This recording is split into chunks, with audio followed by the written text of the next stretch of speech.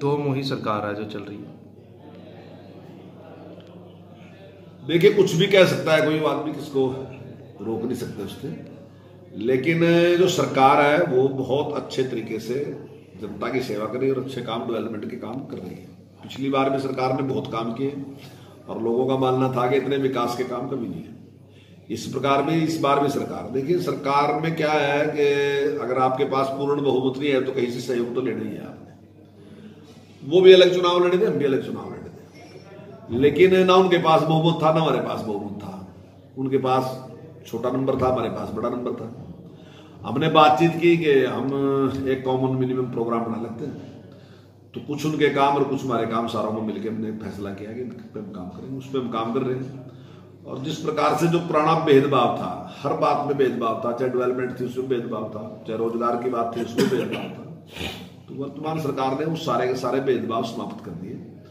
और माननीय मुख्यमंत्री जी की एक बात है, वो कहते हैं कि रैली जो जनसभा थी,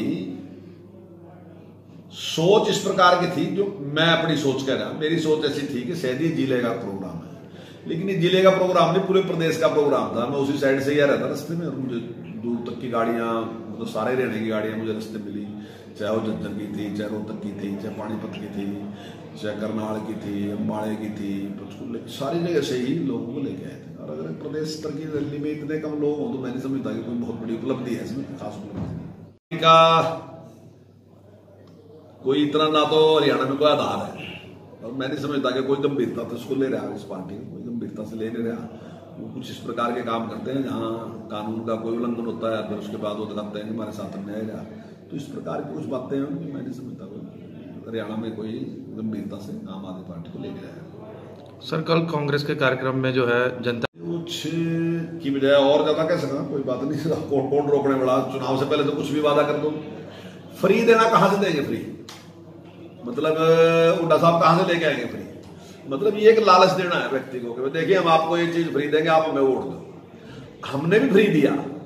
हमने कहा किसान से कि आपके पास जो कर्जा है आप, हम उसका सारा ब्याज माफ़ करेंगे। आप केवल वो मूलधन दे हमें जो आपने आज से दस साल पहले, पाँच साल पहले, आठ साल पहले लिया था, वो मूलधन हमें वापस लेकिन हमने वादा नहीं किया था ये। हमने कहा कि इससे कोऑपरेटिव ठीक होगी किसान का मदद होगा। हमने ग्यारह सौ करोड़ का माफ़ किया।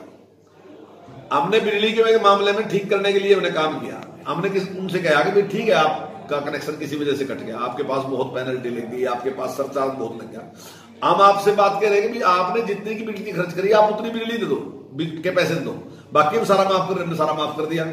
और वो भी सिस्टम भी ठीक चल गया और सारा का सारा उस प्रकार से आज आपके सामने कि हम चौबीस घंटे बिजली भी दे रहे हैं, दो हज़ार करोड़ के प्रॉफिट में भी है।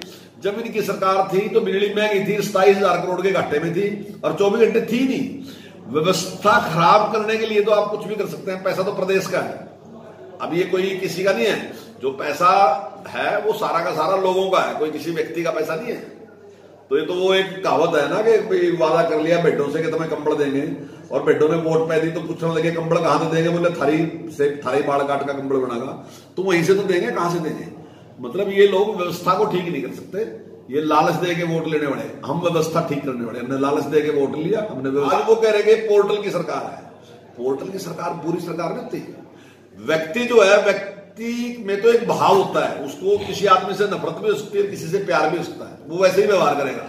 लेकिन पोर्टल व्यवहार नहीं करेगा। पोर्टल के में जो आपने जो उसमें डाटा फ़ीड कर दिया, वो उस डाटा के हिसाब से व्यवहार करेगा, चाहे उसके सामने मुख्यमंत्री है जो चाहे आम आदमी है जो तो हमने यही तो किया ना जी। यही पारदर्शिता तो लेकर आए हम लेके, कि हमारे लिए जो पौने तीन करोड़ है, वो सारे के सारे पौने तीन करोड़ के, पौने तीन करोड़ एक जैसे हैं। हम सबके साथ एक जैसा व्यवहार करेंगे। आज हम वो व्यवहार कर भी रहे लोग इस बात को महसूस कर रहे कि आज सरकार किसी के साथ कोई पक्ष बात नहीं कर रही। और वो अपना पुराना याद, टाइम याद करके देखें कि जिस टाइम उन्हें, वो तो मेरा ख्याल का यमुनानगर को तो अपने ज़िले में, अपने हरियाणा में भी नहीं मानते थे हरियाणा में भी है यमुनानगर किस प्रकार के हालात थे, आप सबको पता है। सर